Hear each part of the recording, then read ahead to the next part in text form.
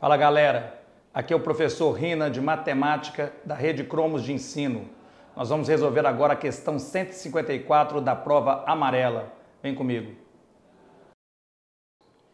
Diz a questão: a Comissão Interna de Prevenção de Acidentes, CIPA, de uma empresa, observando os altos custos com os frequentes acidentes de trabalho ocorridos, fez, a pedido da diretoria, uma pesquisa do número de acidentes sofridos por funcionários. Esta pesquisa, realizada com uma amostra de 100 funcionários, norteará as ações da empresa na política de segurança no trabalho. Os resultados obtidos estão no quadro.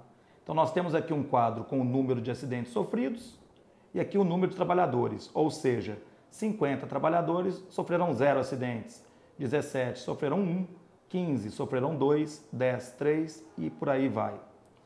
A média do número de acidentes por funcionários na amostra que a CIPA apresentará à diretoria da empresa é. Então, qual que é o tema da questão? Ele quer uma média do número de acidentes por funcionário. Esta média, galera, que nós vamos fazer é uma média ponderada. Vamos ver como. Aqui a gente reproduziu a tabela. 50 trabalhadores com zero acidentes, 17 com 1 e por aí vai. É uma média ponderada na qual o número de trabalhadores representa o peso.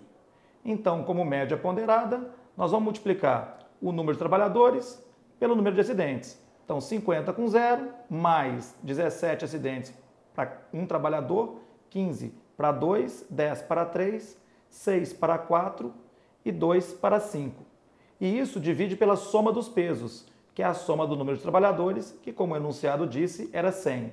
Então, basta efetuar os produtos aqui, fazendo nossos cálculos. Ó, 50 vezes 0 deu 0, é 17, mais 30, mais 30, mais 24, mais 10. Efetuando a soma, dá 111 acidentes no total para 100 funcionários. Dividindo, a nossa média ponderada deu 1,11.